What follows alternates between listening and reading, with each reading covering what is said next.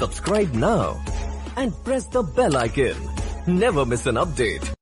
नाजरीन ये जनाब तौसीफ़ुररहमान साहब हैं। ये तकलीद की तारीफ़ कर रहे हैं। पहले आप समात फरमाइए।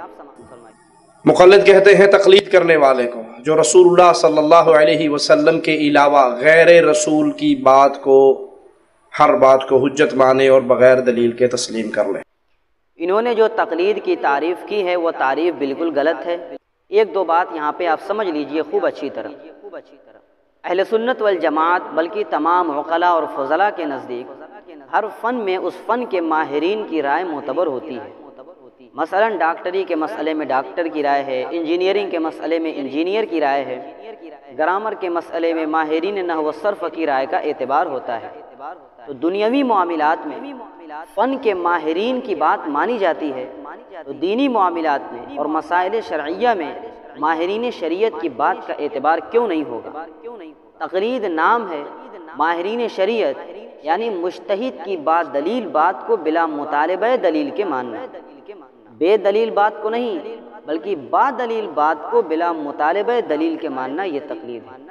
और ये तकलीद की तारीफ़ कशाफ असलाहतफ़नून उठा लीजिए।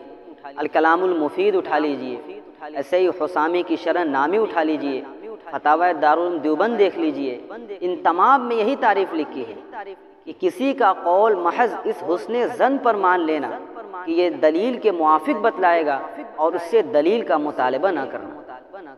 सहाब कराम में भी बाद सहाबा बड़े सहाबा से, जिनके अंदर इश्तहाद की सलाहियत थी, उनसे मसला दरियाफ्त कर लेते थे और उस पर अमल करते थे, लेकिन दलील का मुतालबा नहीं करते थे। और यही तकलीद है। मैं एक मिसाल दूँ तो बात और अच्छी तरह वाजे हो जाएगी। मसलन कोई शख्स बीमार हुआ, डॉक्टर के पास गया इलाज कराने के लिए। डॉक्टर ने मरज देख करके दवा लिख दी। मरीज़ कभी नहीं पूछता कि डॉक्टर साहब, जो दवा आप लिख रहे हैं, क्या दलील है, क्या सबूत है, ये दवा मेरे मरज में काम करे। पहले आप सबूत दिखाइए, पहले दलील दिखाइए। कभी कोई नहीं पूछता। हालाँकि सब जानते हैं कि ये दवा सही देगा। ये दलील की रोशनी में देगा। ये माहिर है, एतमाद किया जाता है और उस एतमाद की बुनियाद पर दलील का मुतालबा नहीं किया जाता।